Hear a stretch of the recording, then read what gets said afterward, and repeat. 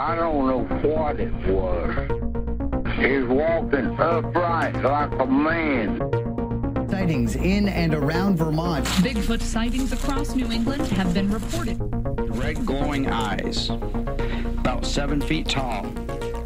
Red eyes, big old fangs, claws coming out through, three inches long, you know, just sharp as they can be. There has been another UFO sighting flying over the Royal Botanic Gardens. There are 500 UFO sightings in the world every month. The truth is out there. We are back. We're back.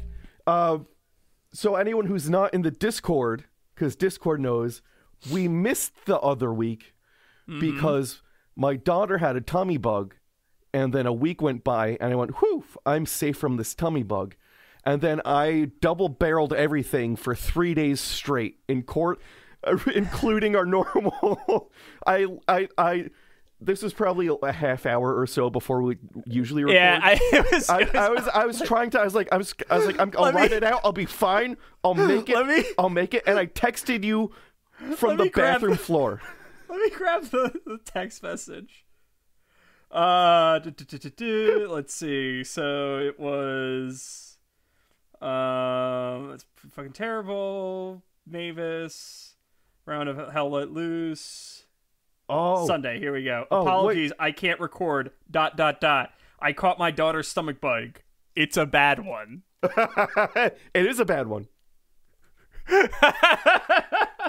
let's um let's do a quick pause um so something else that happened I was on my laptop before because my computer died I'm on my new computer and I just got it set up for recording and I just realized that I'm recording at 48 kilohertz so I'm just going to go ahead stop and keep this track and then switch my my recording frequency and start, so we don't have to start over we'll keep this We don't have to start over. Okay. we don't have to start. No, we're keeping all this is staying. It- Okay, cool. Yeah, yeah, yeah. Well, I'll go ahead and stop. And that's what you call doing it live. Yeah, that sure is. Bumped Um, my mic. Oh God, yeah. So that wasn't a fun time. It sounds like a fun time to me. I don't know what you're talking about. Was so Sometimes, bad. hey, you know what the fun part is? It's when you when you just like aim and see what you can hit. It's oh God. Okay, so here's this will tie into the other part of uh, another story. Okay, so I'm on the bathroom floor. Uh huh. Where it's it's we're playing the game of like. It's Is Snoop Dogg watching over you? Yeah, like hold hold your tummy so you can shit, and as soon as the poop stops, flip around so you can throw. So I'm in the bathroom. That's going on around the same time I'm texting you, Mm-hmm, and I didn't realize Erica was on a call with her dad Oh no! in the bedroom, which shares the wall with the bathroom. So I just start yelling, "Bucket, bucket, get the bucket!" Buck. So I'm just because I just need because I can't. It's uh, uh, some both are going to happen at the same time at some point. so I need the bucket. That's what the tub's for. That's that's what the tub's for. So what I didn't know is her dad heard me. and he was like, "Oh, he said, hope he's doing well." He said he said something Oh. about it didn't sound like I was doing good. But the reason she was on the phone with her dad, and this is something I told you about, is her car.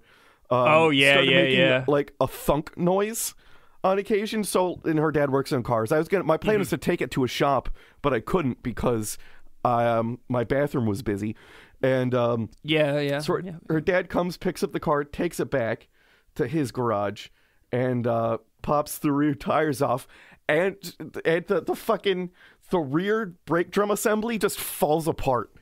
Oh, It was brand new. It- we got it last year from Mavis Tire. it was brand new. So what they did is they they got the new drum assembly and put the old hardware and bits in it. He said like the spring, the shoe. He said it just came off. oh. So the brakes weren't on the car.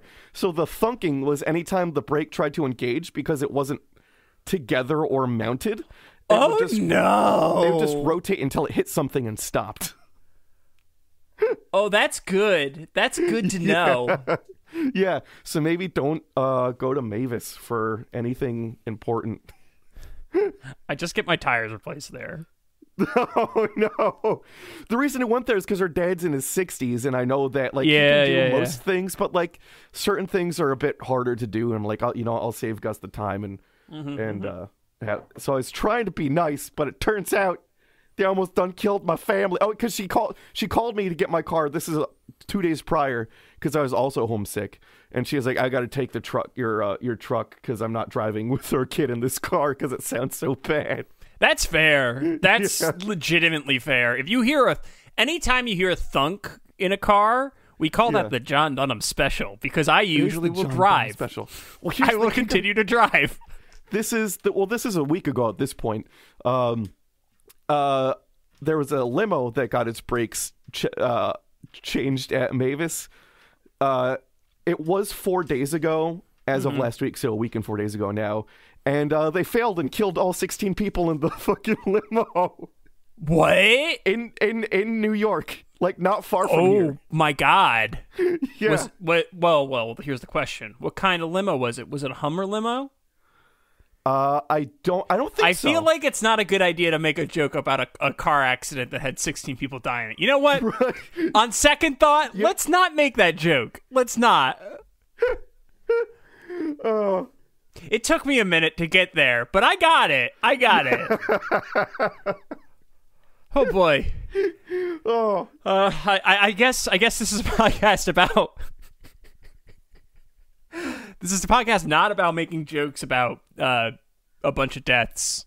Um, instead, it's a podcast about cryptids, paranormal, uh, aliens, particularly aliens this week. Uh, but the name of the podcast is Cryptopedia, and I'm John. yes i'm brandon And Brandon, this week, uh, our our episode is kind of an interesting one.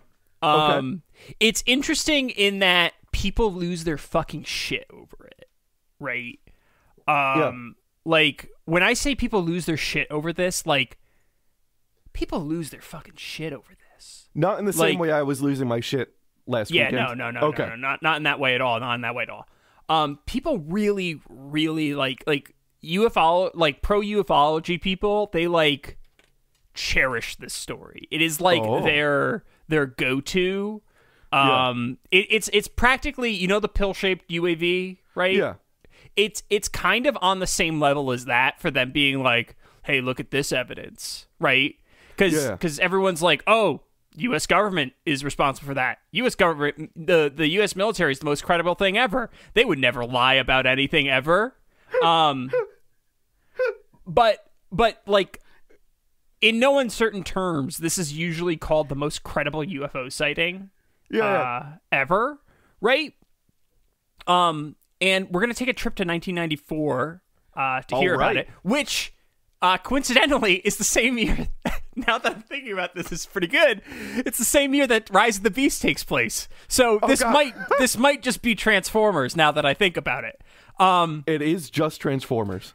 so we're going back to 1994 to hear about an experience of 62 and i'm going to put that in quotes because there's a little bit more uh there's a little bit so that's the the thing that people usually quote as being the number but i take some offense to that number but we'll talk about that later uh Okay. 62 elementary school students in ruwa zimbabwe Today, Brandon, we're going to be talking about the Ariel school phenomena. And for those of you listening, that's not spelt aerial as in like in the sky, it's A R I E L, as in the little mermaid. Ariel. Yeah. Ariel. And you know, the most credible witnesses are elementary school children. Ages 6 to 13. There's, I definitely never really, honestly, in earnest, tried to capture a leprechaun at that age. I definitely didn't ever try to do that. I mean, yeah, no, that never happened. Never in a million years. That's not like one of the most popular things to do around St. Patrick's Day in this area. But whatever. Yeah. The Um, young mind is infallible. infallible. So, Brandon, on the 14th of September, 1994, a Never Wednesday, forget. uh, an object was seen streaking across the night sky in southern Africa around 9 p.m.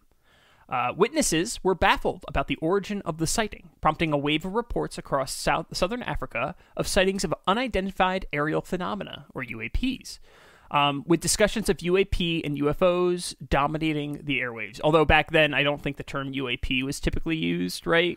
Uh, no, because I think that's, that's, a a, more that- recent of that's a thing. that's a more recent thing for ufologists to to divorce uh, UFOs from you know little green men.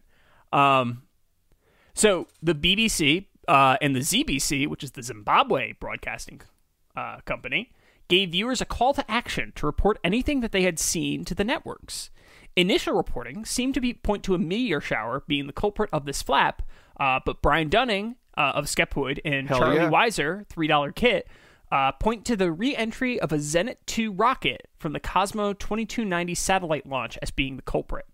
Um, this is this is one of those things that also a lot of uh, uh, a lot of people who are proponents of the Ariel school phenomena stuff will mention this, and they'll talk about like there's no uh, meteor showers on the books, and the it's unlikely that the Zenit 2 is responsible for this. Although, honestly, like it's probably the Zenit 2 most likely. Yeah. Um, and also aerial phenomena like is not.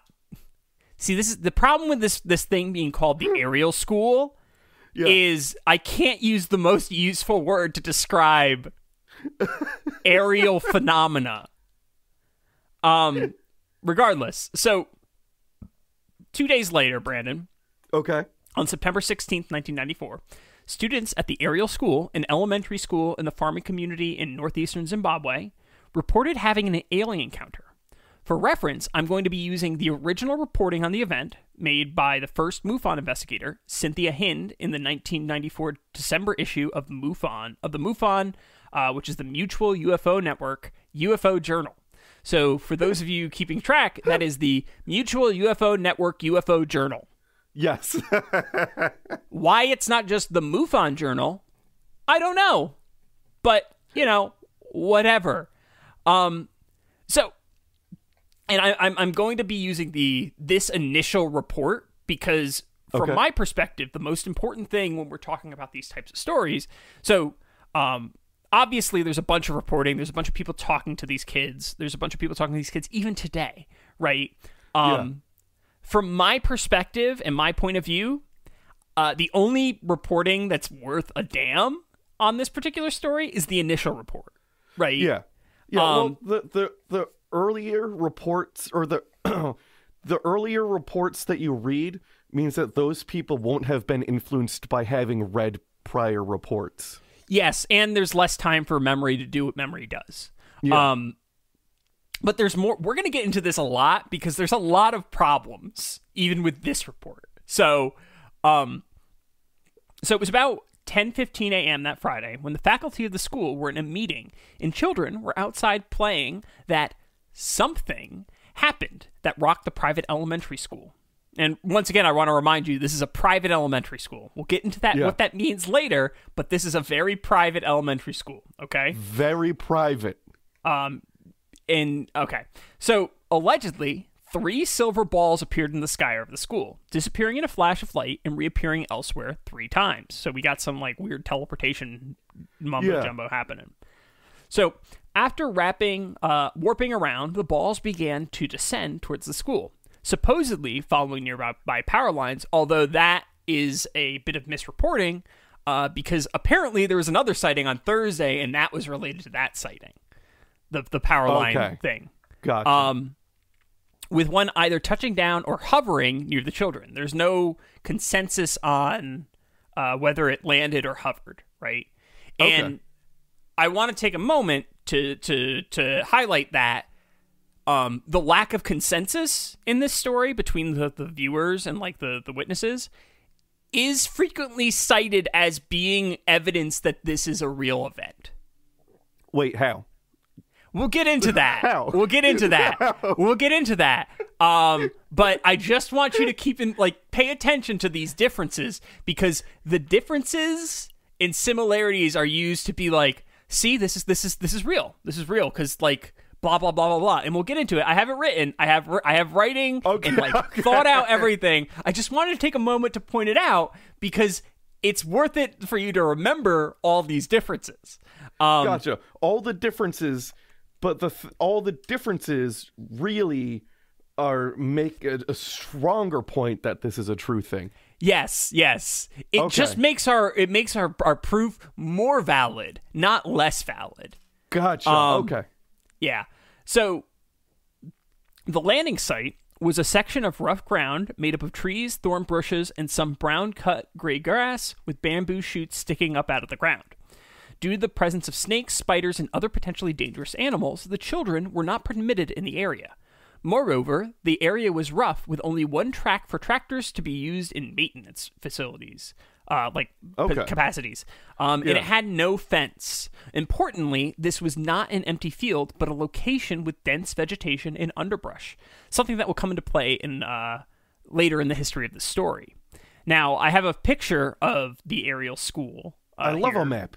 Yeah, so this is a map uh, from AfroNews 12, which is uh, something that was written by Cynthia Hind, perhaps one of the whitest women in history. Oh god. Um, so uh, on this on this map, we have a diagram showing the uh, the Ariel school as a as a rectangle, uh, the playground as a weird like, uh, kind of like a like a blob. It looks blob. like a, a RuneScape empty pot. Yes, yes. Um, then there's like grass and bush. There's power lines. There's the path. There's a uh, a section that says landing area question mark and landing area uh, as well. It's kind of funny. Um, Yeah. So wait. So so the landing area. There's the way this map. Imagine you know you're looking at a rectangle and there's just an L shape that goes through it, and that's where they're mapping out the power lines. The X by the landing area. Are they saying something definitely, definitely something definitely did or did not land there? Because both of those are both true and make a stronger point. And then also something maybe didn't do or not land. I have no idea. Okay. Honestly, I have no Okay. idea. I, I thought I, I, in retrospect, I don't remember reading anything about that, but I also, um, I, I kind of skimmed this one because this is this is like a later report, right? gotcha. Okay. Um, and it also repeated a bunch of shit that was in other reporting that I read, so I kind of just skimmed Okay. it. Um, so based as I mentioned before, based on my understanding, there isn't a consensus of what happened during the event. And I want to point out, and, and this thing was the thing I was pointing out. even in Hind's original count, she highlights the Yeah. dispute between children whether or not the craft landed. Once the craft came to a rest, some 100 meters from the children, keep that in mind, uh, a small one meter man appeared at the top of the object, walked Okay. towards the children, noticed them, and disappeared, reappearing on top of the craft. Their locomotion, the locomotion of this man, varied child to child, with one saying it moved as though it weren't affected by gravity, um, which is kind of a bizarre way of describing anything. Um, another mention, uh, another thought, it were running in slow motion. Um, and the entity is said by one witness to have been dressed in a tight-fitting black suit, which was shiny, and as having long, scr- a long, scrawny neck and huge eyes like rugby balls. Right, and when I say okay. so I personally interpreted like rugby balls to be the shape. I think other people have interpreted as being like rough, right? Like As like, rough? like like a fly's eye, right? Oh, gotcha. But I I don't know. I don't remember reading that it was actually rough uh, anywhere. I would but tend to interpret that as eye shape. I would be surprised if you could see texture at 100 meters. yeah, yeah. No, that's well. That's the thing, right? They're very far away from this. They're they're a Yeah. football field away, right? I can you can't really make out a whole hell of a lot of detail from a, a football field away. No, Even like if you're a kid. I buy shiny. Yeah, Um, the, but- the the shiny, the suit, I can see all that. The shape, I can see that, right? But regardless, um, anywho, so its face was also pale with long black shoulder length hair. After the entity warped back to the craft, it it took off abruptly, uh, disappearing from the children's sight, but not their mind.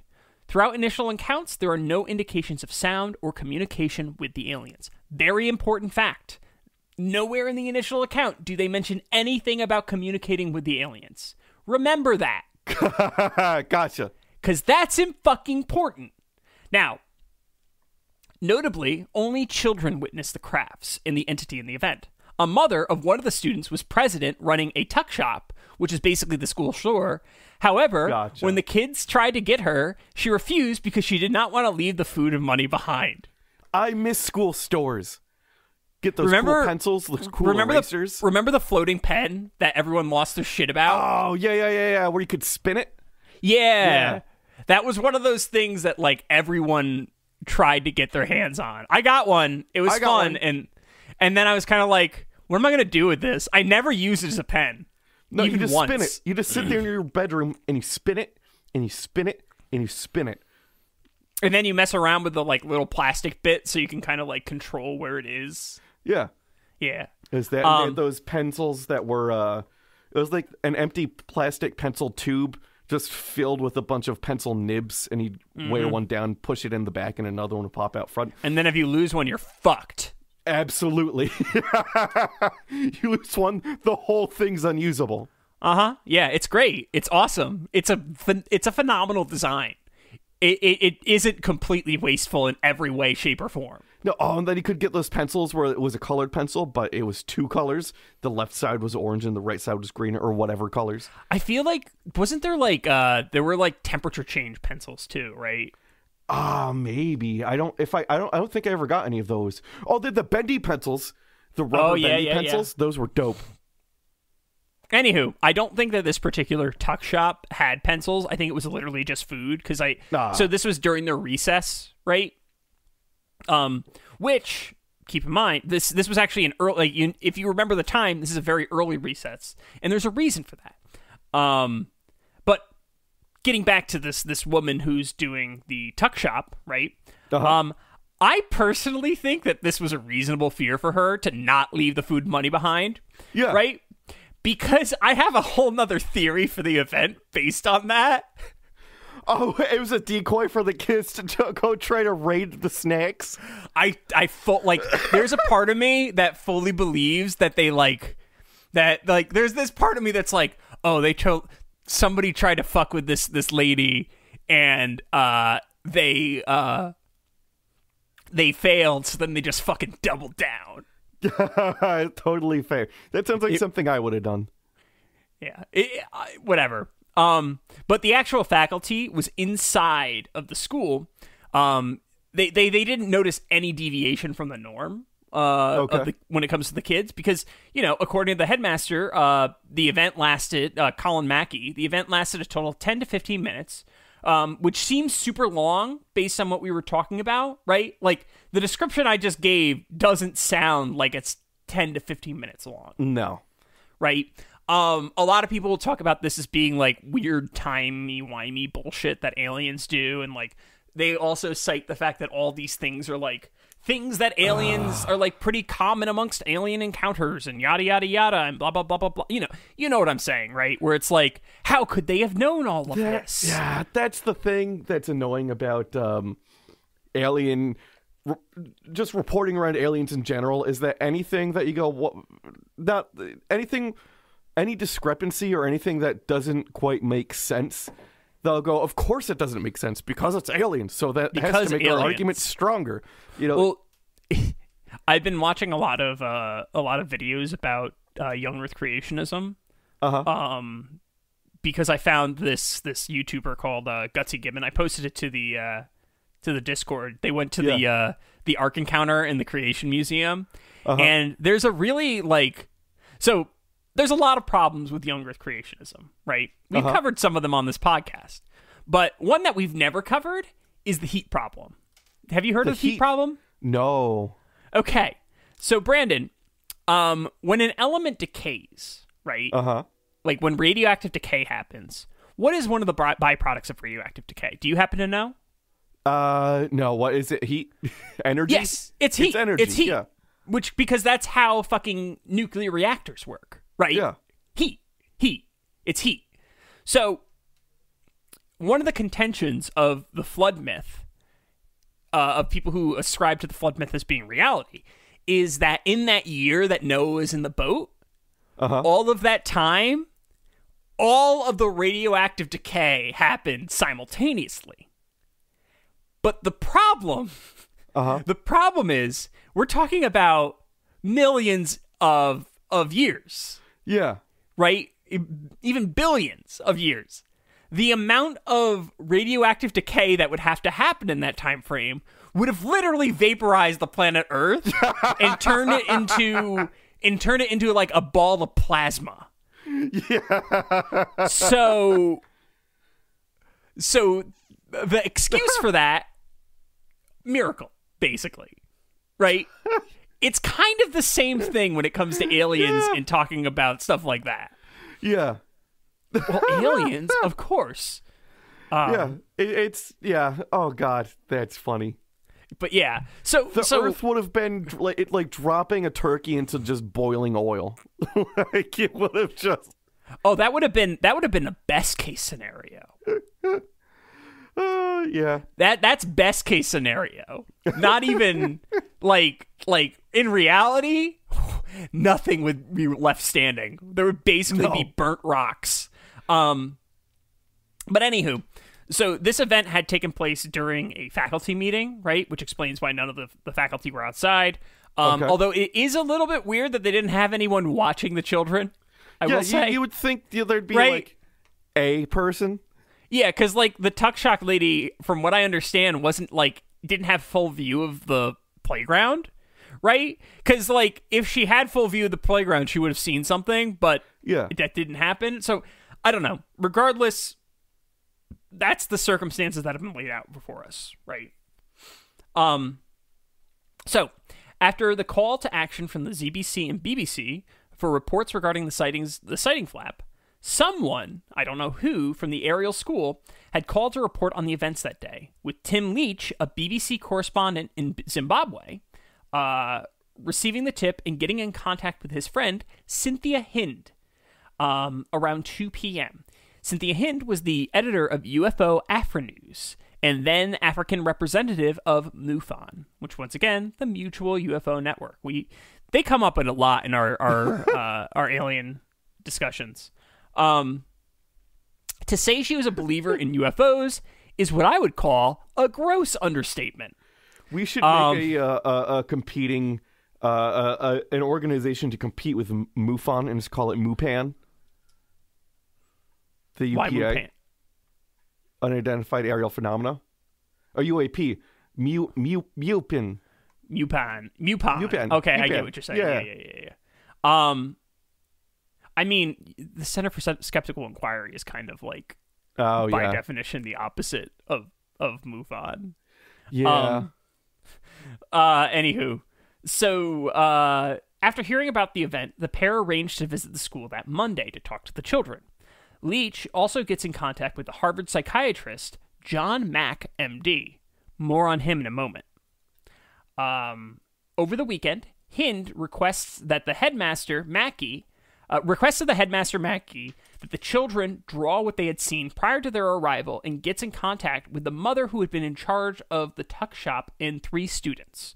Okay, so I want you to keep this in mind. This is very important to the storyline, right? Uh huh. Um, it's Friday. Hind, keep in mind, this is 2 p.m. when Hind finds out, right? Yes. if you'll recall, elementary school, like like the elementary school, this was a day that they had a faculty meeting, all sorts of stuff like that. So I have Yeah. no idea when the, the the elementary school let out, right? But what I what I can assume is there wasn't enough time to actually draw these drawings, and we actually have evidence that the drawings weren't drawn on Friday, right? No, Which is well, that makes sense, right? because they've got the whole weekend. He didn't find out till later, so he wouldn't have been able to request they do that until. And and I want to point out that this this timeline events of events that was reconstructed, I'm using three dollar kit, which is one of the sources of this week's episode. Um, Yeah. it's a blog made by I have his name right here, uh, Charlie Weiser. He has done extensive analysis of like everything. So like Okay. phenomenal work um interesting interesting takes all that good stuff um so uh as far as we know they didn't immediately draw these drawings right? Yeah. um which is important because one of the most frequently claimed thing one of the one of the frequently claimed things is that the drawings were done immediately after the event. Okay?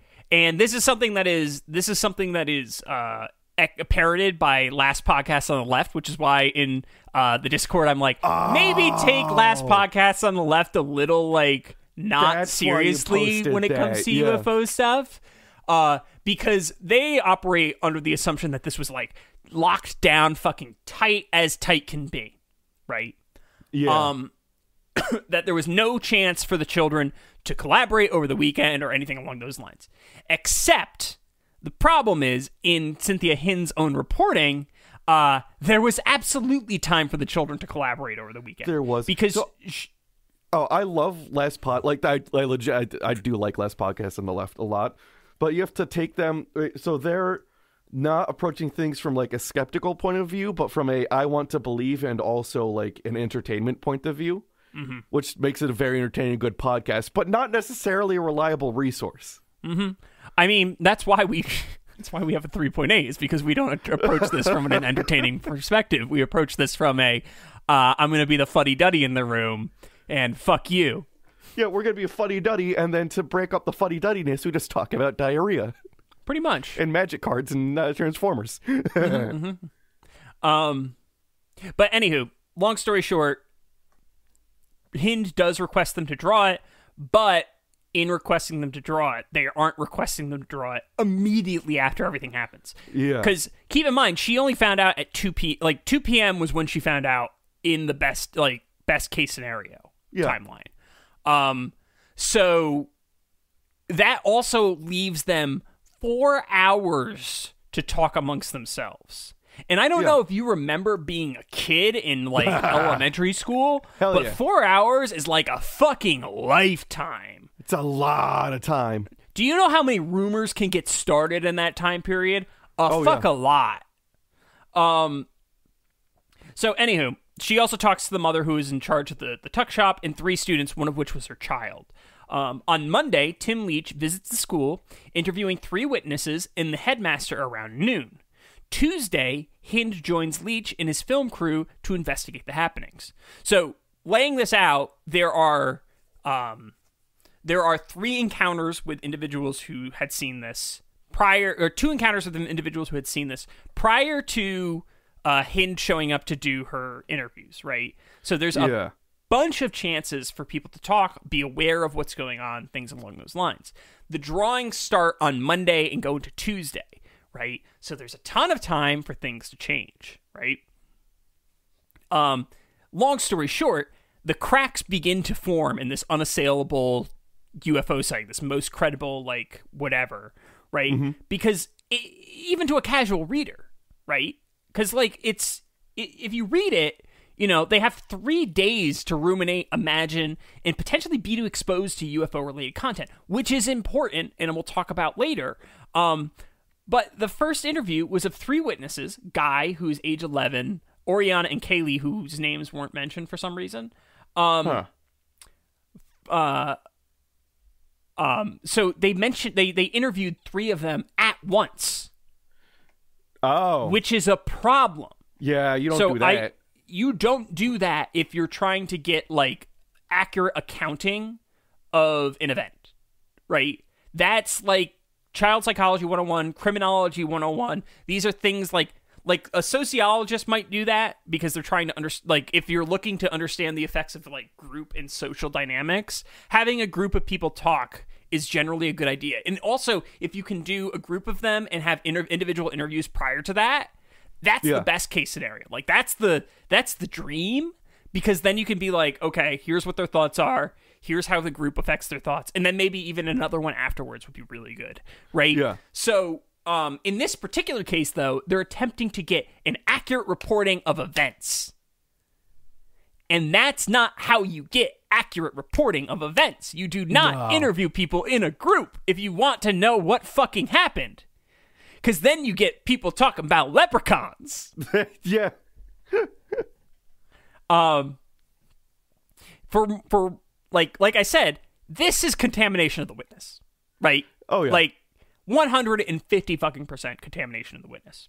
Um, in this initial account, the craft was described as silver, and at least one entity was spotted. One of the kids described the entity as follows: "I saw this black, looks like a stick, but was very thin. A man?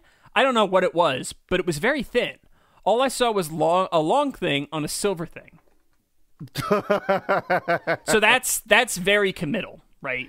yeah. Um, when asked to describe the height, one of the kids indicated somewhere in the ballpark of five foot six.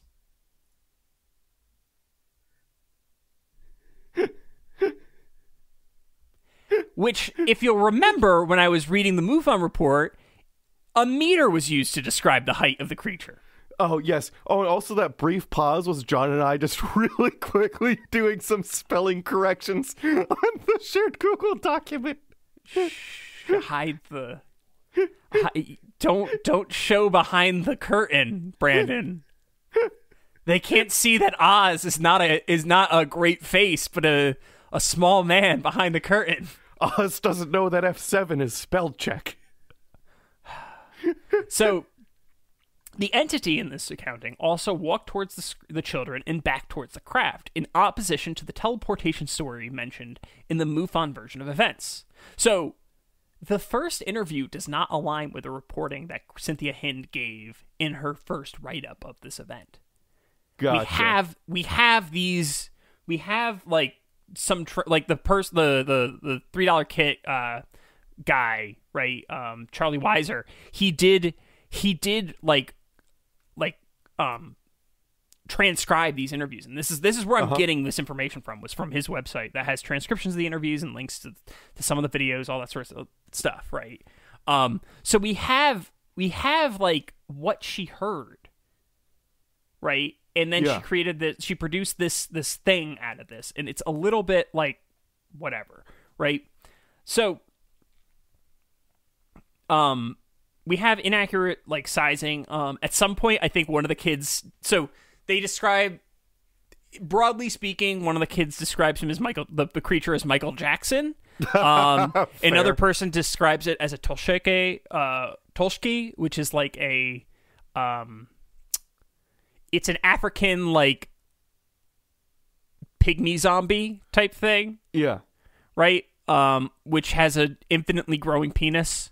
Hell Um, yeah. I, I'm not gonna get into it because like it, it's it's not something that I thought it's not something that I thought was super interesting because also the the ufologists don't make a big deal out of it. Although I will Yeah. say one thing about it as we close the episode out, but we'll, we'll get there. Um, there's a lot to talk about on this episode, Brandon. Like a lot because like this is this is pretty much like the as a person who who studies human subjects Yeah. Weird there's a to say that. There's a lot of problems with this like a lot they make some very bold claims that Yeah. if i made i would get in trouble so um to complicate things further, one of the children interviewed, Kaylee, indicated that there were actually three people present one white, another red, and the last black. Um, Okay. basically initial accounting does not align with Hind's published story whatsoever. Um, it gets worse when we start considering the interviews performed by Hind, right? So the, these these initial ones were the Le- uh, the Leach interviews, right? Where he Yeah. was talking to them. Now we get into uh, Hind's interviews, right? Um, in the weekend interviews, the descriptions vary even more, with one description describing the craft as white and another as golden. Um, things get go Yeah. really off the rails when Hind begins interviewing students in person. To begin, seven students are interviewed at once in the school staff room. Oh, good. Seven. Um, the students were the oldest in the school, who were in grade seven, placing them at about twelve years old. Right. Um, here, the narrative recounted in the MUFON recount account more or less begins to take shape. However, there are a few interesting details that Hind elected to keep out of her reporting. Um, the first one is that one of the students said they thought the alien was the school gardener at first glance. Huh. The second, and more damning, is that the kids expressed an awareness of UFOs and aliens. Uh, what did you think it was? I don't know. I just thought it was some kind of alien from a different planet. So you know about UFOs? Yes. You've watched them on television? Yes. You think that interview influenced you? Mm, or we, or weren't you thinking about it when you? I wasn't thinking about it. So Brandon, right there, that that that interview technique is bad. Very, very, very, very bad. Okay? She didn't allow her subject to finish her thought and interrupted her with the negative as they're talking. Because if someone's going, mm, and like talking about that, like, I give them a second. Yeah. I Let them think. a, let uh, them think. I've got a multi-part Alien uh, episode uh, in, in on the books, and um, the interviewer on that one did much worse than this. Even on top of having multiple, um, having siblings in a room being interviewed at the same time, um, instead of just asking, was basically putting ideas into to their heads with the questions. I mean- putting new putting new information out there with the question that they had never mentioned previously. Oh, Brandon, don't worry. Oh God, is that coming up? Oh, don't worry. I mean, we've Oh, already seen a little bit of it because the oh, or you weren't thinking about it is kind of explicitly doing that, right? Because it's providing them an out, right? It's providing them an out for the story, Yeah, right? Um, yeah. But so- at least they were like, you didn't feel like it was uh, trying to poison you, did you? Like they weren't like putting Yeah. that kind of shit yet. Oh, but it gets least. worse. It Oh, definitely good. gets worse. So the last question is what I would typically describe as a leading question. Um, Yeah. The use of a negative in the question seeds the response that Hind wanted to hear. People, children especially, want to be right when answering questions like this and will adjust their answers to meet the expectations of their interviewers, right? Um, what's more egregious, however, is that Hind has the audacity to say the following uh, in one of the interviews she gave on the subject. I believe what they saw. I think perhaps they might be, uh, some might have been influenced by others, but Like basically, yourself. they drew many of their drawings that I don't think they could know about. It gets worse in her sightings interview, where she says, Well, a lot of these children go- don't go to the movies, they live in the countries. Parents are farmers. Now, I want to take a moment, Brandon. you know what they say about farmers? It's well known they hate movies. Yes, they're the, they, they are the fucking hate them. hate them, hate them. Um, this is not accurate. First of all, um, it's completely ridiculous that she would say this because at least one of the students literally and explicitly mentions, and we even said it, prior exposure to UFOs and awareness. Moreover, the terms aliens and UFOs are used in the interviewers without the interviewers describing them first.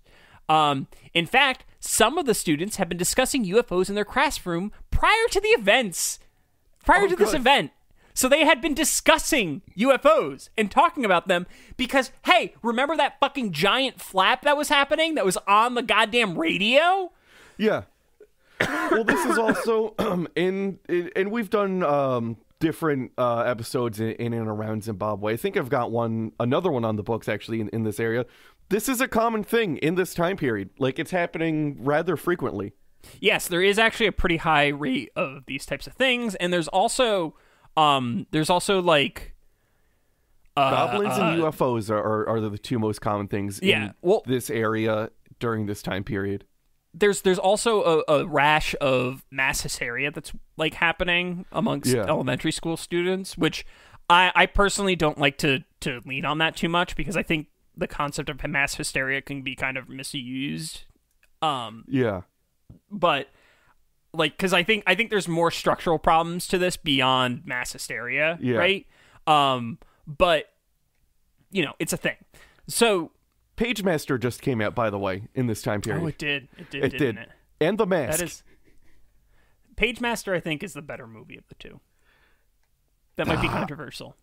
Yeah, I, I, I like the mask. Does the mask have Christopher Lloyd in it and Macaulay Culkin as a cartoon character?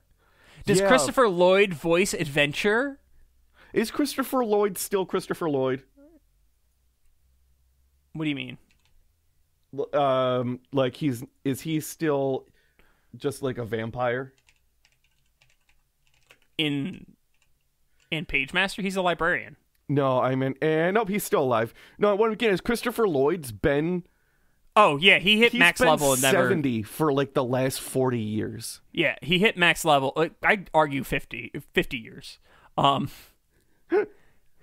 yeah, he hit max level and then just didn't move. Uh, Michael J. Fox. Michael J. Fox aged way, way worse than him. But to be fair, he does have Parkinson's. So like, yeah, he on account of Parkinson's. yeah. Um. Anywho. Anywho. Uh, I should also note, Brandon, local television schedules have been uncovered, indicating that there was a litany of UFO-related contact, some of which described crafts matching the s- descriptions a number of the students had. Oh, perfect. Yes. To make matters even worse, Describing the parents of the school as farmers is reductive and absolutely take ava- takes advantage of the prejudice on part of the reader, right? Because Yeah. because we're talking about Zimbabwe, right? Um, it feels a little a little racist to be like, oh, they're just podunk farmers, right? Because um, here's the facts. As I mentioned before, the Ariel School was a very private school, and when I say very private, I mean expensive, fucking Yeah. expensive private school. It had a competitive swimming pool, tennis courts, and even a fucking golf course. Brandon, Oh damn. it's no surprise that the families were generally wealthy, and on top of that, they were generally uh, missionaries. Yeah. So a lot of these kids didn't like a lot of these kids moved to Zimbabwe, Gotcha. which means also they went they had to go through uh, airport terminals. Some of them were from Yeah. Canada. You know what book was already published at this point and might have been in an airport uh, terminal or two? No, wait, wait, wait, wait, Whitley, wait. No, tell me. Whitley Strieber's Communion, which has a, a gray alien on the front of it that has uh, the almond shaped eyes. Oh. which you might be able to describe as rugby shaped in some Yeah. some some versions of it. Um, but wait, Brandon, it's worse because Ruwa. Uh, I didn't mention this because I didn't want to like kind of give away the ghost on this one. Uh-huh. Uh, is not that far away from Z- the capital city of Zimbabwe, uh, Harare.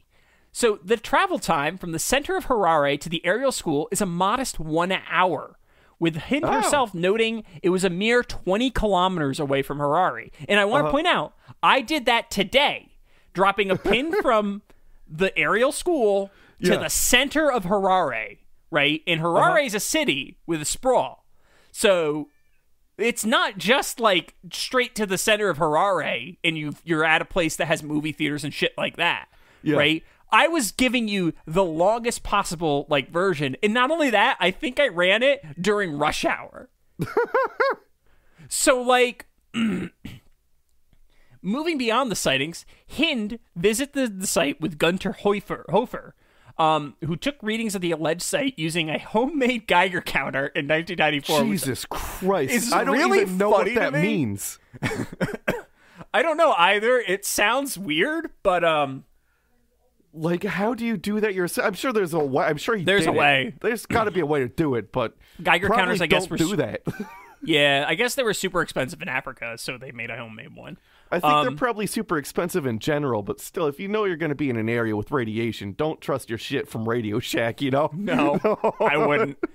Um, but Brandon, there was no physical evidence to be found at the time, despite a later Oh, account claiming to have a photo of a landing mark. Okay. Mm-hmm. And that photo resurfaced. Uh, I saw it. It's, I don't think it's worth Oh, saying okay. anything about. It, it looked dumb.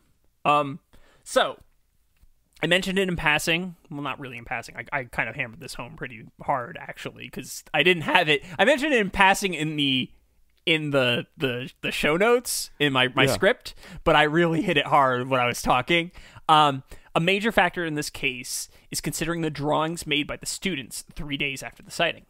The core claim is that there were no collaboration amongst the students, but as we mentioned before, I was in elementary school in the 90s, and I can immediately tell you that this is 100% unfiltered bullshit.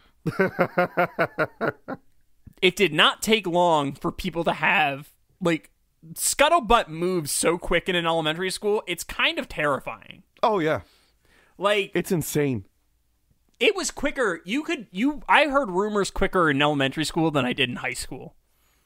That's absolutely true. Like I you you knew more shit like that was going down on the ground in elementary school than in high school. Oh, my kindergarten teacher died yesterday. R.I.P. Miss Clausy. Oh, that's sad. Yeah. Um Wow, that that that derailed me for a second I saw your face.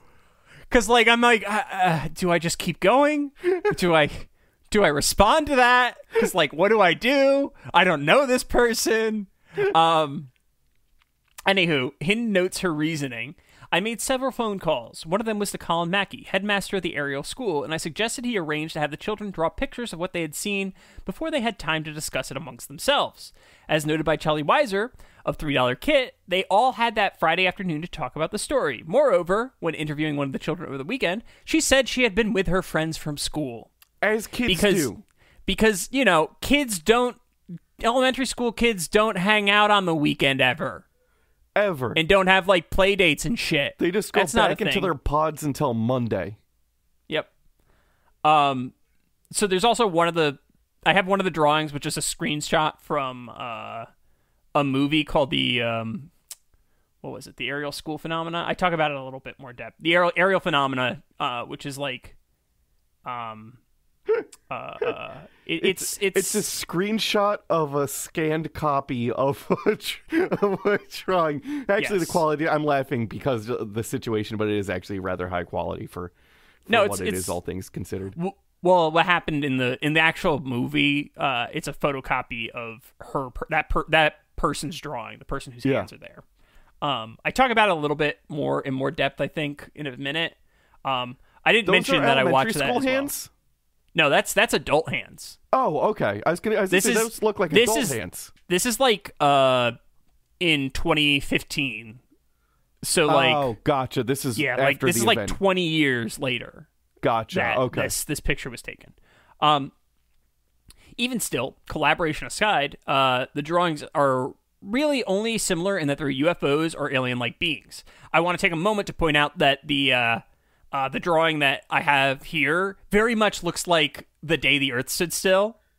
Oh like- yeah. Like you know the the scene where the the flying saucer is uh uh uh um is like landing and the dude is walking out you know it's it's kind of an iconic like scene from movie history right um, Oh yes. i'm i'm talking about the 1951 version of the film Yeah. not not the newer one um it's it's it's kind of infamous and like it's entirely possible that like that this could have been that this could have entered into their consciousness, right? Because there's like the scene of Klaatu, who's the alien from that movie, walking out on a silver spaceship. You know, Uh-huh. it's it's it's it's iconic. right. Oh, hey, that's very similar to some of these. oh, Like- very similar to some of these pictures. Yeah. So like, um, did you know that the uh the Necronomicon, uh, the words that are read in the Necronomicon from uh, uh Evil Dead. the Evil Dead are from are from uh the the day the Earth stood still. No, I didn't know that. That's some fun movie trivia. Yeah, they they took it. What was it? The Kandar Klaatu. Uh, I don't know. I always forget it. Verita Nicto. There we go. I'll believe it. You, you of all you could have said anything, I, and I know you, and I'd be like, "That's that's true. That's true." Barada Nikto. That's it. Okay. That's the that's the thing from the day the Earth stood still. Did you see the new one? no, I haven't seen it. I haven't seen it either. I'm not sure. It it looks. I it's. I miss the campiness. It looks like the camp is gone. I mean, I really liked the remake, um, with uh, the Lady Ash. So Oh yeah, I, I enjoyed that one. I did that was a enjoy really that good one. one. That was a really good one. Um, regardless, so most of these crafts are extremely generic, looking like flyer saucers from a 1960s movie. Um, additionally, the aliens are very much in the line with Whitley Strieber's Co- Communion Gray Alien, as I mentioned before.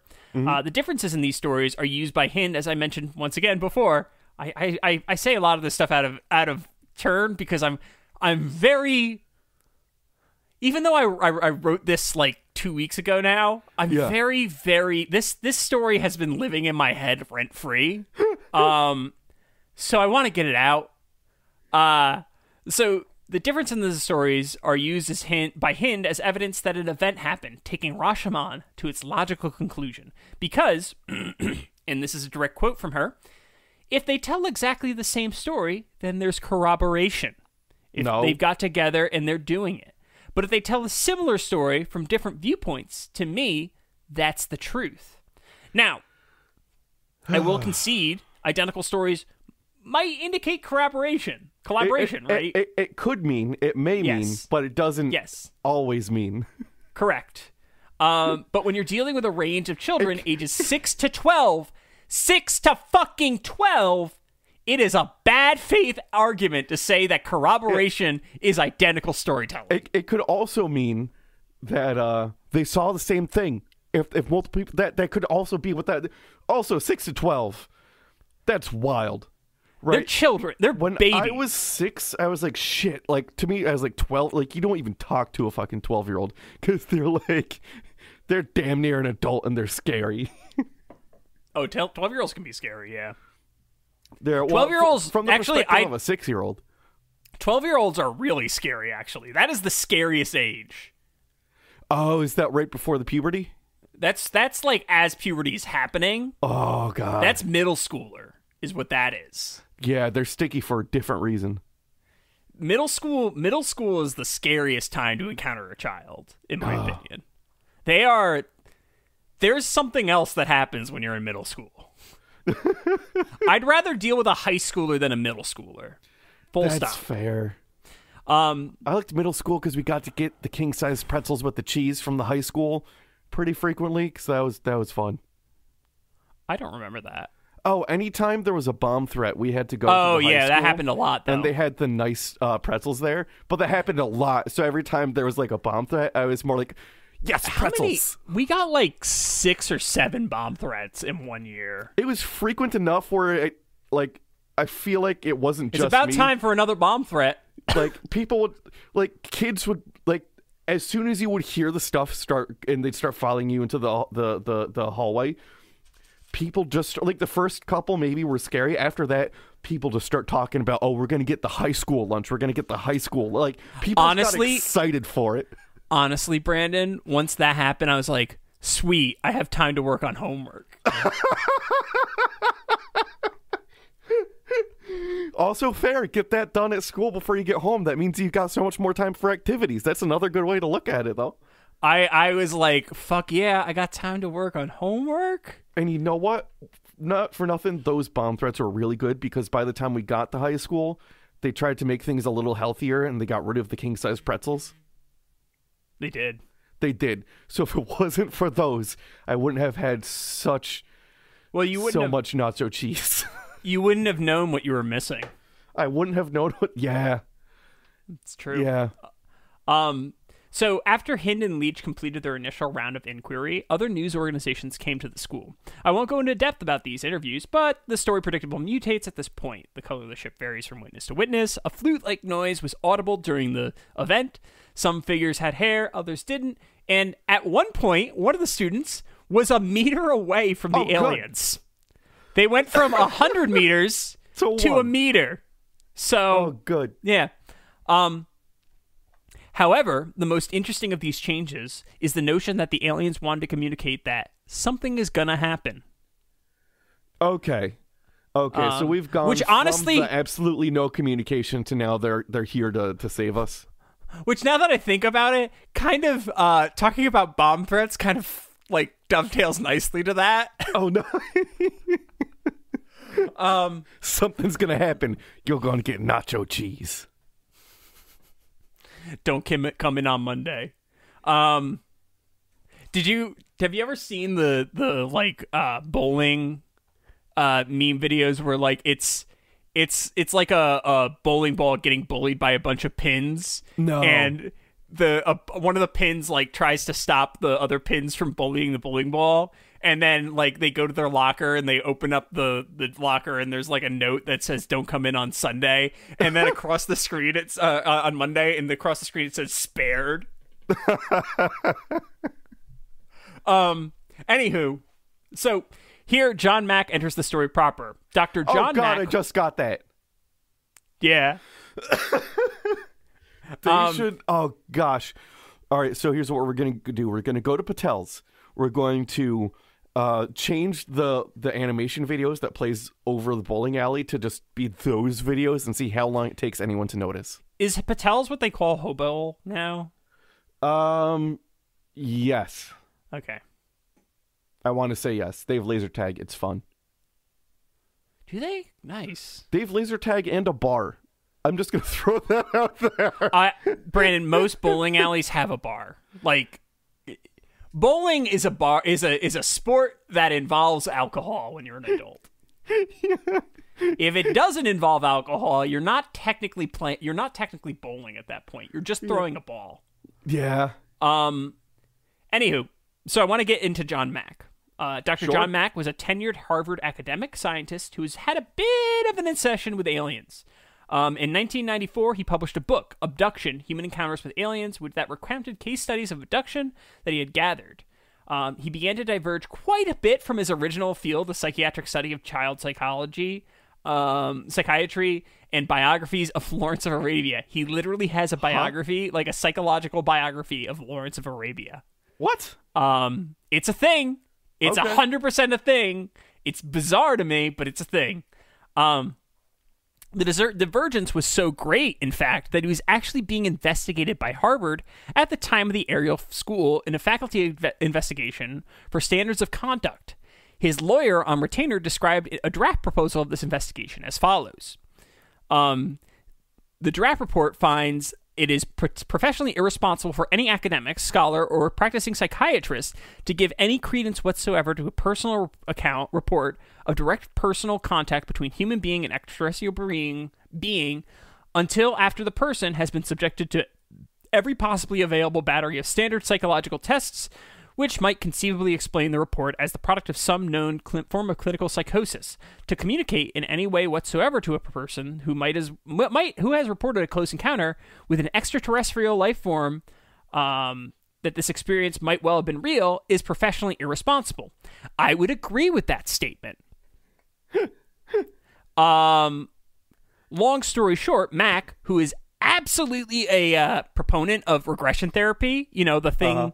The thing responsible for the satanic panic, Yeah. and like, uh, like created memories and all that sort of stuff. Yeah. Oh, what was Um, the name of that? Oh gosh, the name of that girl. Are you?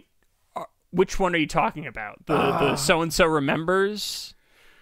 Oh gosh, uh, I think we we I know we talked about it. I'm drawing the biggest blank.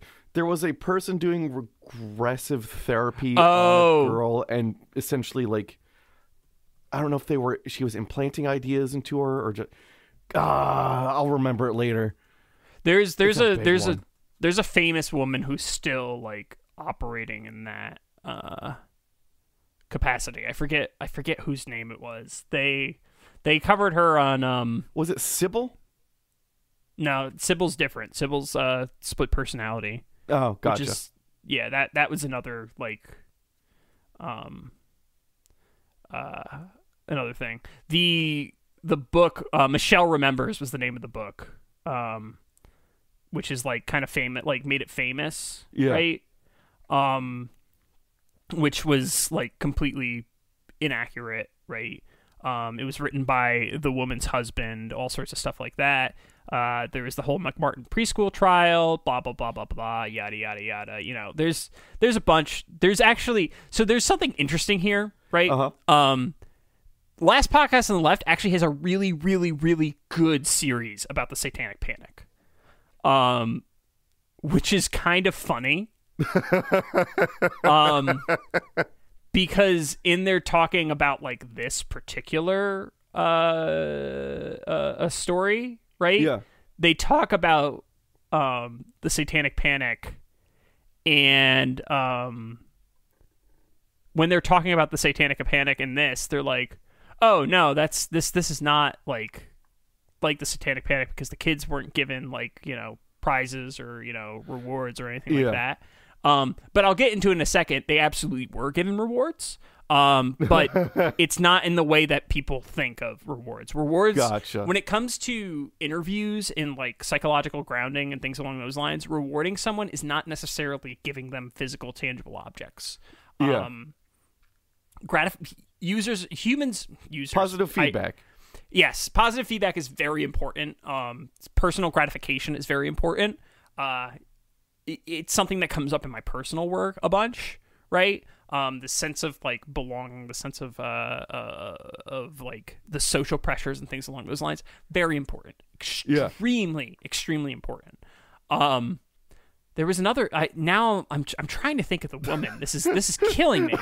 There's there's a woman in uh uh in like Arizona.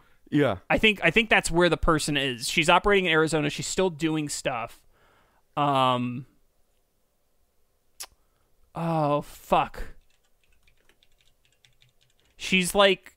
uh, is it Lisa? No. Uh, no. Uh. God damn it.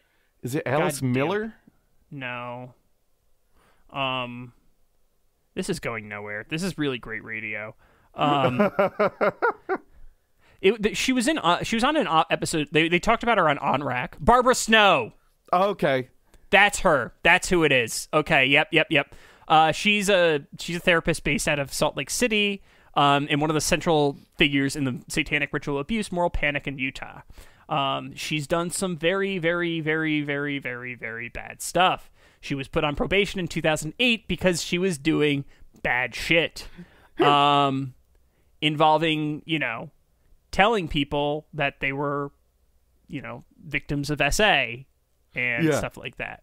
Um, anywho, uh, long story short, getting back to Mack, um, he was being accused of effectively psychiatric malpractice. Um, ultimately, however, due to his tenured status, there was some outcry from the academic community, namely Alan Dershowitz of Harvard Law. Now, have you ever heard of Alan Dershowitz? It's probably a name you've heard of.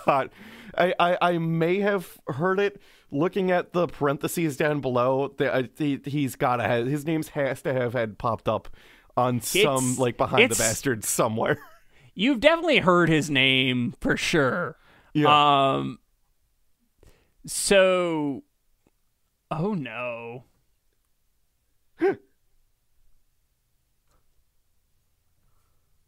oh God, he has a hot take about the Trump stuff. oh, good. Um.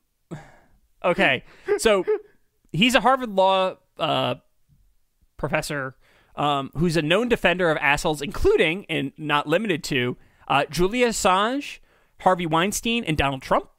And he is a proponent of torture uh, as long as you have a warrant.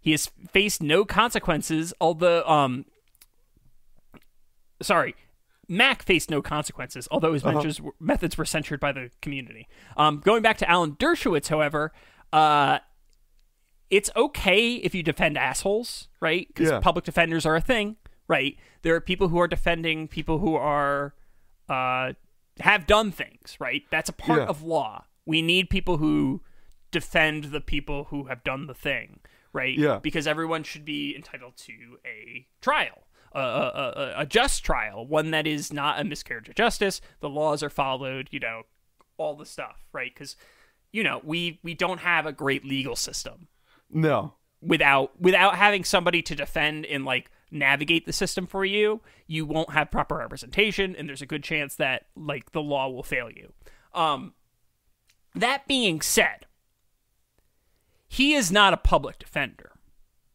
he made the choice to defend Julian Assange, Harvey Weinstein, and Donald Trump. Yeah.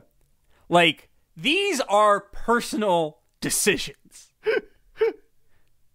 so my my empathy for him only goes about two inches. Yeah.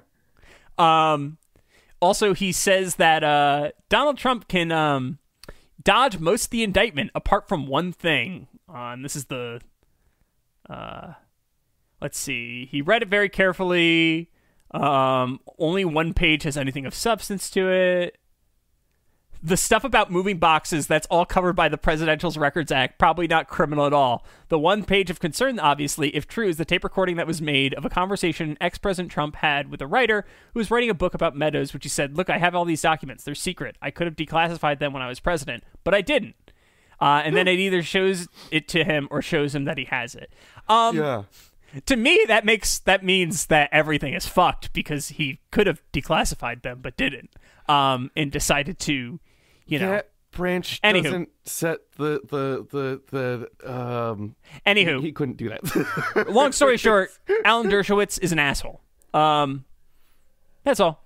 the the the people who can set like export and and uh and um the, classify things as controlled information is the Department of Commerce and the Department of Defense. Other branches don't do that. Other wonder if- departments don't do that. Um, so we meant you mentioned behind the bastards. I just have like a moment. Um, Oh, I only said that because I'm I I can't recall Alan Dershowitz, but Oh, he I'm defended- sure he's come up on a Behind the Bastards episode. he defended times. Ghislaine Maxwell as well. Oh, good. Yeah. And he he uh, says that Obama will go down in history as one of the worst foreign blah blah blah blah blah. Defended defending Trump. Um, I don't know. Erectile dysfunction is associated with him. I don't know. Whatever. Um, so talking about behind the bastards, uh, he's recently been doing a, a bit talking about the chain, uh, which for those of you who don't know is a Fleetwood Mac song that is pretty fucking good. Um, and they've been making so many Fleetwood Mac jokes that when I was like, I was like, man, I want to listen to the chain while I was listening to an episode. So I paused the episode, typed into my my Spotify search the chain, and Yeah. like the fifth result was behind the bastards. um. So anywho, it's against this backdrop that uh, John Mack visited the Ariel school in December of that year. Keep in mind, it happened in September, and he's visiting in December. This is three months, right? Um, to talk to the students. Yeah. Here, the aliens gained motives. It turns Ooh. out that their purpose for visiting was to send a message communicated through the aliens' evil eyes. Supposedly, the aliens were here to warn students about pollution. Interestingly, John Mack was an anti nuclear and environmental activist, and there was no complete transcripts or recording of the interviews that had been released to the public. Huh. Uh huh. Interesting, right? Very interesting. Mm-hmm. So I want to take a moment to note that despite the common reporting that 62 children had seen the craft, um, Hind only interviewed around 10 to 12 students initially. Okay. Uh, John Mack would also interview a group of 12 students in which there was overlap between the two groups. Also, what's typically not mentioned when discussing this event is that there were 200 students who did not witness a fucking thing. huh. 200 people. They were just facing the wrong thing. direction. apparently.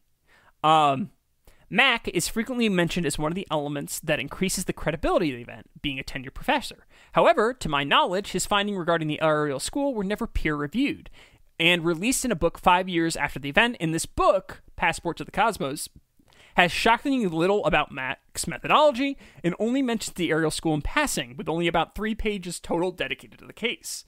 Uh, checking out work cited by Mack, an article by Dominique Callimanopoulos, his co-investigator, um, little is added to the discourse on the subject. Academically speaking, if these articles and books were given to me as a reviewer, I would categorically reject them because they don't properly contextualize any of their work methodology methodologically, nor do they do it in an academic like literature context. Right? I would Yeah. basically just be like, "This is fucking worthless. What are you doing?" Yeah. right? Um, I don't know what you did. I have no idea how to evaluate your your technique. I have no idea how to evaluate your your methodology. You're basically there's there's nothing. There's no reason I should give this. I have any confidence that you have done the correct thing when doing Yeah. this. Um. So uh, Cynthia Hind also wrote a book, UFOs Over Africa, uh, but I couldn't find a copy for any kind of reasonable price. Um, but based on the snippets I've read, we're not missing a whole heck of a lot when it comes to that. Um, doesn't look like it's that great of a book. Uh, a more valuable manuscript, however, was penned by Gilles Ferdinan- Fernandez, a PhD in cognitive psychology, um, which was written in 2016, dissecting the data gathering techniques employed by both Hind and Mack. Hind's two major sins manifest in the fact that she did not respect the subject's free narration. This is something that I mentioned earlier. Um, basically, when conducting a qualitative interview, the investigator uh, should only ask questions about the subject's memory and recall, right? Um, Yeah. Which is really important, right? You're not supposed to ask them to editorialize. You're not supposed to ask them to assign meaning or whatever to it. Just tell me what you heard, what you saw, what you heard, what you perceived. Tell me Yeah. that, right? I'm not going to ask any questions that attempt to elaborate or whatever, because if I ask those questions, by nature, I am modifying the story. Um, the su- the subject, in this case, the child, question their question should not be asked um, in general because they can very easily lead to the content lead the content of the recollection. Um, after their initial recall is gathered, however, investigators may then ask questions. Right. This is the this is the way that we do this kind of research. Right. Yeah. You ask someone to give their experience, and then you know let them go. Um, the second sin, as I mentioned before, uh, is that Hind interviewed the witnesses collectively and not individually. Um, however, interviews were luf- roughly linear going down the row as uh, the other children were able to listen to the accounts of their peers. Those who say the children had no rewards for telling the story neglect the social gratification afforded in this fitting uh, in fitting in, right? In Yeah. continuing the story. There is a massive, massive, massive benefit socially to conform in this regard. Oh, yeah. Or at least reinforce what your peers say. Right? Um, calling your peer a liar is not going to win you any any favors or anything, right? Yeah. Regardless, um, to some, this might actually even be a ludic experience, right? And this is something that I talk about because I study, you know, location-based games and locative media and things along those lines, uh, because it gives the player, the students, the chance to engage in something called ilinx, which we talked about um, on a previous episode when we talked about the Slender Man, right? This, Yes. This deceiving, this this whirlwind. It's this, it's this, uh, you know, trying to deliberately mislead, right? Or like create these things. It's not malicious necessarily, but it's to create this like narrative. It's it's like um uh it's it's it's almost like a a, a more directed form of Mad Libs, so to Yeah. speak. Um the consequence of this technique is that the students inherently collaborate uh, at this point in, to tell, tell a story in rounds, no matter how much they saw, right? No matter what they saw, um, and even if the children had seen something, this testimony is polluted by this technique, make, making it functionally worthless as evidence. It's valueless, completely valueless data. Um, Mack is no better than Hind, in my opinion, and Fernandez is. Uh, he also leveraged his group interviews, as clearly seen in the Ariel Phenomena documentary, and interviews with a free testimony of subjects. Worse, however, is the lack of rigor in Mack's questioning. As I noted above, when conducting interviews, subjects have a tendency to acquiesce and conform to the desires of the interviewer. Um, as a result, interviewers' languages should not be leading and avo- avoid confirmatory yes and no and multiple choice questions because they restrict responses uh, that can be offered by a participant and biases them m- more towards positive answers, right? Because once again, we're getting into social gratifications, right? People Yeah. want to want social gratification. They want to be like, I made my my uh, interviewer happy. This guy's a PhD. This guy is smart. I made him happy and did what he wanted me to do. Yay! Right? Like, even if you aren't aware of that, it's subconsciously there, right? You want to. It, it- it is a thing. It is 100% a thing. It's a thing that I have to be aware of when I do my analyses. Oh god, I might have to do my alien episode soon. I'm sorry because you're gonna lose your shit if the, if this Oh, is I'm probably- going with just the little snippets that we have above. I I, I want to. I want to point out, Brandon. I want to point out. Most of this is talking about their methodologies. This entire this entire episode is talking about how they fucked up, and less about what actually happened. Yeah, but this Um, interviewer, even though they didn't say it, even though the, the, the subject didn't bring anything up, the interviewer didn't then ask a question saying, Do you believe these were sent from God? Pretty much. There's a lot of that in my alien episode. Oh boy. There is actually a correct way of asking that question. Um, and the correct way of asking that question is, what do you think the origin of these things were? See, you could ask that, but then you don't ask a follow question saying, Did they take you onto their ship? Uh, Even yeah, though the no. subject never mentioned anything about that previously? Yeah, well, that's that's getting into the uh, that's getting into the, the the free narration, right? Yeah. Um, you're you're violating free narration and all that kind of stuff. Anywho, anywho, anywho, um, so likewise, Mack has a tendency to use words in uh like imagine or think in their interviews, which is generally not something you do when you list when you want to elicit uh accurate testimony from children. If you ask them to imagine, they will fucking imagine. And that's not helpful. Yeah, especially Um, children. Everyone knows children famously don't have wild imaginations. famously.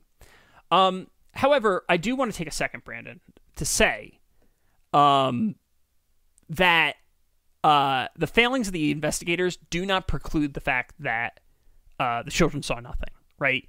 There's, there's, in fact, it is likely that something acted as a stimulus for the children in the event. Um, right? I, I personally am of the belief, and I think I've talked about this on the podcast before, um, that I don't think people necessarily make things up out of malice.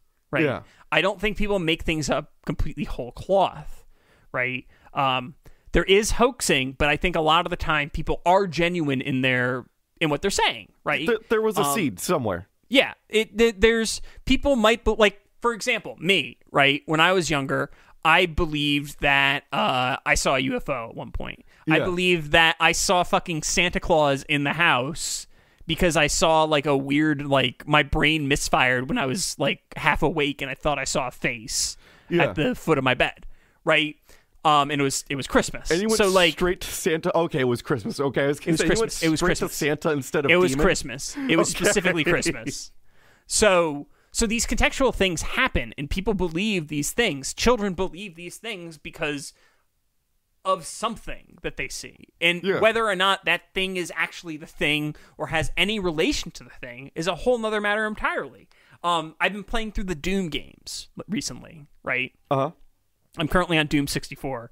Um, and when I was younger, the first game that I played was Ultimate Doom, right? Yeah. Uh, or Doom 95. It was one of the two. I don't recall.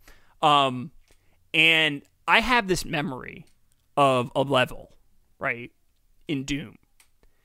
And I played through pretty much every officially released level at this point. I can't find that level. But Yeah. I have an extremely vivid memory of that level and how it was laid out because that level is responsible for like one of my first memorable nightmares because of the fucking imps in Doom. yeah, the fucking. You know, the imps. Chewbacca looking motherfuckers. Yeah. Um, so I have an extremely vivid memory of this level, what the what the layout was, like what happens in the level that triggered this this nightmare. Yeah.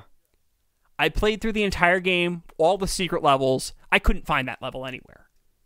Brandon, I saw something because it's similar to what happened in the game, but I didn't I I mis misremembered it, right? Yeah. And that's just like a very basic example of this.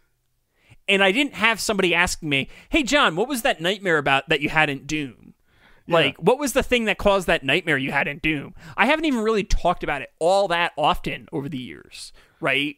Um, like maybe once every like two or three years I'll talk about it because it was, you know, it was like my first memorable nightmare, right? Yeah. Um, so sometimes it just comes up like when I'm talking to my parents or something. Like it's like, hey, remember when that thing happened with me? Blah blah blah blah blah. Right? Yeah. Um, so even simple, mundane bullshit things, we have these memories that are not necessarily accurate, right?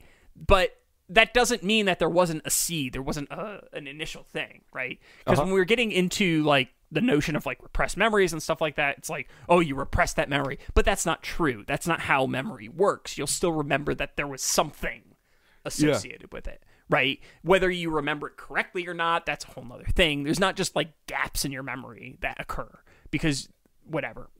Not not the point of this episode, but regardless. Um so when it comes to possible explanations, uh they range from things like dust devils and weird looking trees to a traveling puppet show uh, that put on a show for the children. Um, in particular, there's this thing called Puppets Against AIDS, which is a surprisingly believable explanation. Um, in the explanation, it's like Bunraku puppetry, and like Yeah. there's a a, a van, Oh, like that. and stuff All like right, that. I just looked it up to see what the puppets look like. Yeah. So, um, but like, I want to be completely like forthcoming with this. I don't think that that's necessarily what happened, right? Realistically, No, there's it's I the the the looking at them the the puppets because they're more like large caricatures of people, so they don't. The the point isn't for them to look realistic; it's for them to look like Mm-hmm. Exactly. a caricature. well Um, because I don't expect a rogue puppeteer would have found their way into the field behind the school. well, I think the the one of the like conceits of this is that like they saw a puppet show. Ah, okay. And the, pu- And, the like- puppet show is influencing how they were recalling the the event. or like okay. yeah like maybe well I, I think the implication was like a uh pu- like a wandering a, a traveling puppet show stopped by to give the kids a, a show but none of the adults Oh. saw it or something like that Yeah. Uh, but regardless it's not likely but then again neither is alien so yeah. one of them is physically possible one two, of them one is more likely than the other, even if both are unlikely. even if both are unlikely yes yeah. Um, realistically, though, Brandon, we will never, ever know for certain what happened, right? Because no one was there. There's no cameras. There's no additional like adult witnesses. There's no the the the the, the interviews were were seated with certain intents and like meetings from various people, right? We'll never know. But let's be real. It's unlikely that it was a close encounter of the third kind. Yeah. Yeah. Um, but now let's just take a moment.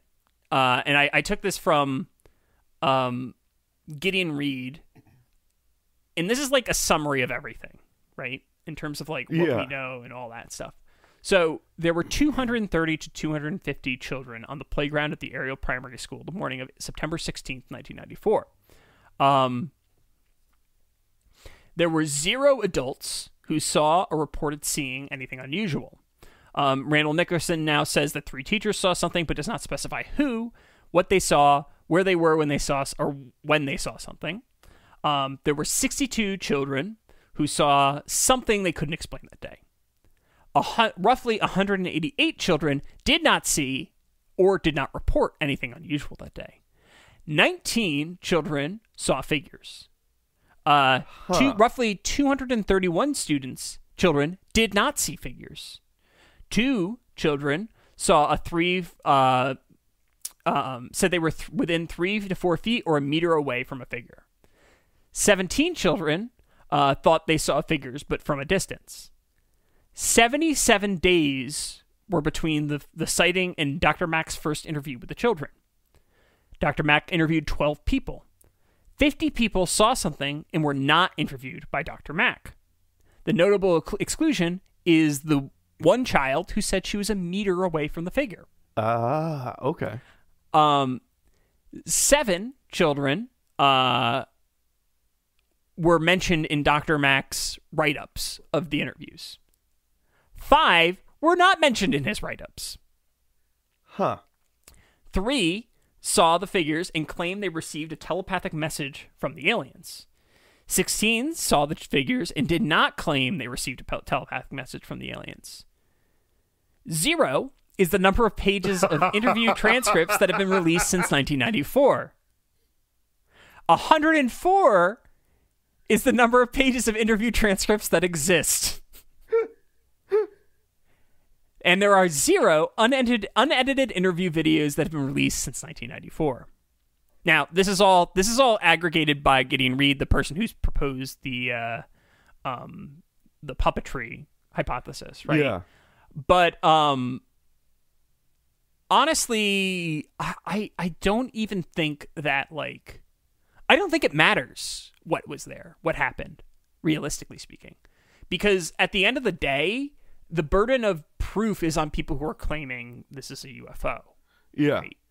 And I don't think that there's sufficient proof here to indicate that there's a UFO. And if anything, the evidence and data that they gathered was poisoned by their own gathering methodologies, right? Yeah. Um, and like, so there is also this thing that all none of the kids have like gone back on their statement, right? I didn't Uh-huh. mention it here because it's commonly mentioned. the The Ariel School Phenomena documentary uh, covers the life of one of these kids uh, grown up, right? And like looking at them and watching the the documentaries, um, and I thought I wrote about this, but apparently I must not have. Um, these these like these people clearly were affected by what happened. Yeah. Um, one of the families uh, moved away. Like one of the the missionary families moved away because like they didn't want their kid talking about aliens because inherently it like it, it it inherently like goes against the notion of Christianity that like humans are like the big deal. Um, Yeah. Because if there's other aliens, then it kind of invalidates a lot of the Bible. Um, by nature, right? Um, but these these kids are like very like, you know, they they seem as though it like it, it seems almost as though it was a traumatic experience for them, Yeah. right? Um, and it might have been, right? I'm not. I don't want to take away like what they experienced, right? I just don't think what they experienced was a UFO.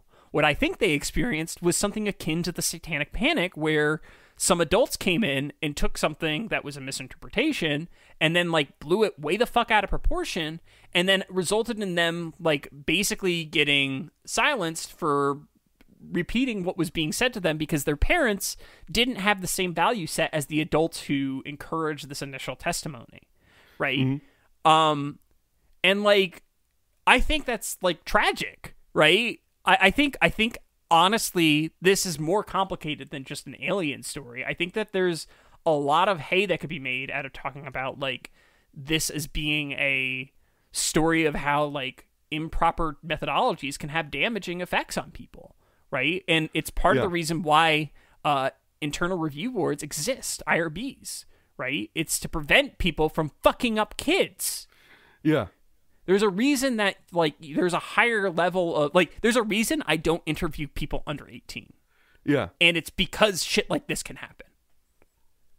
It's very important, right? Like you Yeah. have to be extremely careful with children. Um and I I honestly think that more than anything else, this story is about how a bunch of adults fucked around with children and then the children found out. Yeah. And they're dealing with the the consequences to this day, right? Um and like I'm also like wait, like I said, I'm not doubting that people didn't see something, right? Or that they don't believe. Like I also am not doubting that they believe it, right? I don't think that this is a hoax. What I think it is is a, a a fucked up situation where a bunch of adults took a narrative into their own hands and bent a bunch of kids to it, right? Yeah. Think about think about how like children get indoctrinated all the time into beliefs of their parents or beliefs of the adults around them. It's like a super thing. It's a thing, right? Um I think that's the more interesting story here than the actual like quote unquote UFOs because honestly, the UFO story not that interesting. I'm going to be completely honest with you. It's Yeah. really really fucking uninteresting. Um what happens is a UFO lands, a dude jumps out, walks back, goes away Yeah. right? Made a wrong really turn. not- yeah, it's like um, must have made a wrong turn at Albuquerque.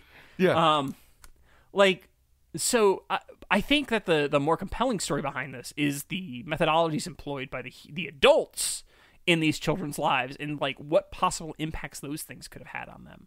And it's interesting because like the um the teachers didn't like not believe the kids, right? Um, which is fine, but like I, I don't know. I think I think there is a point where you can give a kid a little bit too much.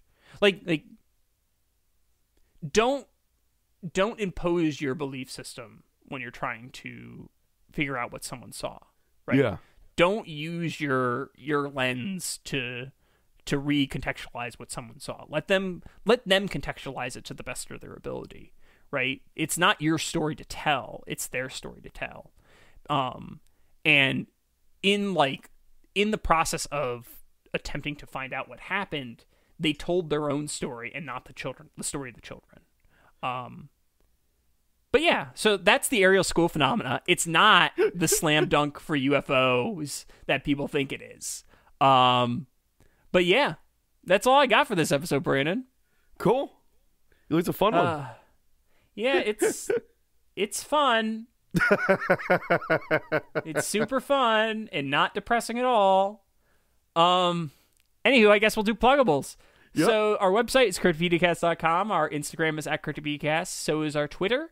Our email is cryptopediacast.com or us at cryptopediacast.com.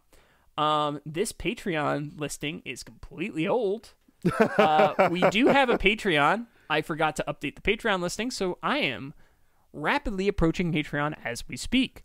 Um, on that Patreon, you get uh, access to our show uh, scripts, um, which sometimes have fun pictures. This one, pretty devoid of pictures. It's it's got it's got Uh, a couple good pictures in it, but a lot of them will couple. have a lot of uh, picture. Well, you hear us describe the pictures half the time, so you'll get to see what we're actually trying to describe. Mm-hmm. It includes the full list of all the sources that we used for each episode.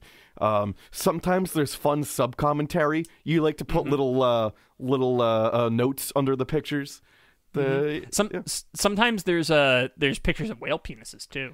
there's pictures of Don't whale forget. penises. Sometimes That's I the add little uh, pictures of Quagmire's head around on occasion. You do you do giggity occasionally. Giggity giggity. Um, wow, the Patreon, the Patreon website has gotten worse. Here we go. For some reason, it put me into the patron mode, and I, it's confusing because Cryptopedia doesn't support any podcast. It doesn't support any Patreons. It's literally Yeah. just a like our Patreon is literally just there so when September rolls around, I can pull money out of it to pay Yeah. for for the hosting. for hosting. like that's all I do. I pay hosting once a year with it. Uh, or occasionally buy a, a dumb thing. Um like a spirit box. like a spirit box. Uh, but like, anywho, anywho. Um, all right. So I have the list now. This is up to date. Uh, our jackalopes include Will Smith, uh, Bushcraft Kelso, Lenwood S. Sharp, uh, Bird Schneider, Marty Von Party, and of course Clay Sinclair. Hell yeah. Um, we also, if you enjoy the podcast, be sure to rate, review, and subscribe. Um, if you can, give us a, a- especially on Spotify. For some reason, we have a. I don't know what is happening on Spotify, but we, I pissed some. One of us pissed someone off. Probably me. It was probably me. I'll, I'll, I'll cop to that. I probably pissed someone off, uh, because our Spotify, our Spotify rating is in the gutter. Um. So I don't know what the fuck happened there. Uh, but uh, if you have any monster requests or stories, be sure to send them in. Um, I've been trying to be better about that overall. At least I have. Um, and yeah, yeah. So that's the podcast. Oh, we also have a YouTube channel, uh, Yes. which is uh, I think it's YouTube at Cryptopediacast, if my memory is correct. It's in the show notes. Um, anywho. Yep. You could find me on Instagram at donkey underscore hands. My website is boyerb.com. My email is brandon at cryptopediacast.com. And my Twitter is at cryptobrandon. And It's that's the- evidence that we're done. um, on Instagram, I'm at Mute2057. My Twitter is at JF Dunham. My website is johndunhamgames.com. And my email is john at cryptopediacast.com. Our art was done by Tom Hill. You could find him on Instagram at Thomas Michael Hill. His website is greatergloryco.com. And his email is tommikehill at gmail.com. As always, I'm John, I'm Brandon. and things are going to get weird.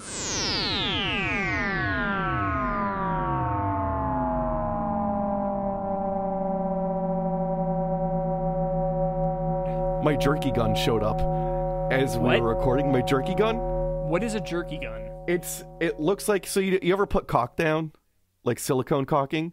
Yes. It's that but for ground meats oh. to make I have I have a guy Oh, I- to make like like like to make jerky. It extrudes ground meats into jerky and I have and I have and it, has a slim jim attachment. It has a round attachment too so it doesn't have to be flat cuz I've got some exotic meats in the freezer.